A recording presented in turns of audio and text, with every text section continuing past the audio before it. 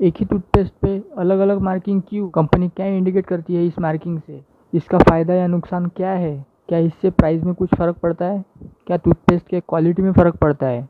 क्या ये टूथपेस्ट एक ही कंपनी के नहीं है? इन सभी सवालों के जवाब आपको इसी वीडियो में मिलेंगे।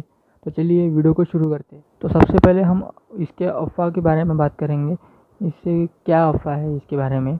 बहुत लोग ये बोलते हैं कि अगर टूथपेस्ट पे ब्लू कलर की मार्किंग है तो वो टूथपेस्ट नेचुरल मेडिसिन से बनाया है। अगर ग्रीन कलर की मार्किंग है तो सभी इसमें नेचुरल इंग्रेडिएंट्स है। अगर रेड कलर की मार्किंग हो तो नेचुरल प्लस केमिकल्स ये दोनों भी इंग्रेडिएंट्स इसमें हैं। अगर ब्लैक मार्किंग है तो पूरा का पूरा ये टूथपेस्ट केमिकल से बना हुआ है, ऐसा कहा जाता है। लेकिन ऐसा कुछ भी नहीं है, यह सब अफवाह है। आपको भी पता है, आजकल के ज़माने में क्या नेचुरल मिलता है और क्या केमिकल्स मिलता है।